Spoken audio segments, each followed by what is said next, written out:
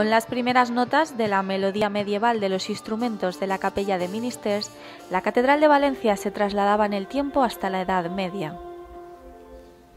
Por segundo año consecutivo, el templo acogió el Can de la Sibila, un drama medieval paralitúrgico que se escenificaba en la noche de Navidad en las catedrales de la antigua Corona de Aragón hasta el siglo XVI.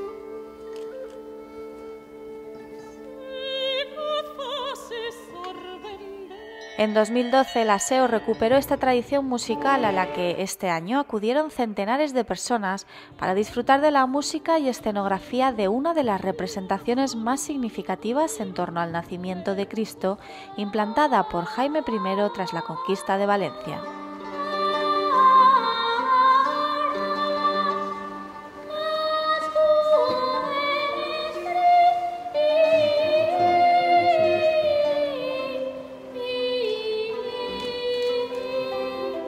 Descrito en la consueta de 1527 de la Catedral de Valencia, el can de la Sibila fue interpretado por 12 actores, 16 miembros del cor de la Generalitat Valenciana, la Capella de Ministers y dos solistas, uno de ellos es Colán de la Virgen de los Desamparados.